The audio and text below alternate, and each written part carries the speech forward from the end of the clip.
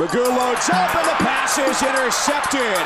Taken away by Rashard Fant, and it's Fant into the end zone. Touchdown, Indiana. You see the mix-up. McGough lets it go. Fant's right there like he's throwing it to him.